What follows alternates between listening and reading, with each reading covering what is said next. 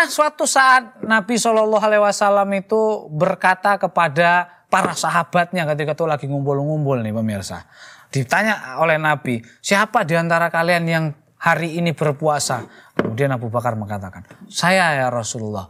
Ditanya lagi sama Rasulullah, ya siapa di antara kalian yang hari ini sudah e, mendatangi orang yang sedang meninggal? Kemudian apa kata Abu Bakar? Saya ya Rasulullah.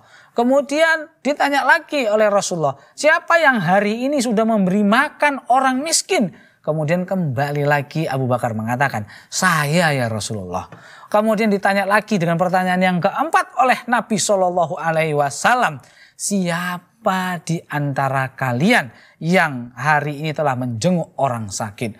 Maka ketika itu Abu Bakar ya mengangkat tangannya kembali dan dia mengatakan saya ya Rasulullah. Hal ini menunjukkan keutamaan dari sosok Abu Bakar As-Siddiq luar biasa. Ini empat ibadah ini bukan ibadah yang main-main ini pemirsa, tapi keempatnya di hari yang sama Abu Bakar setelah melakukan semuanya ludes dikerjai oleh Abu Bakar.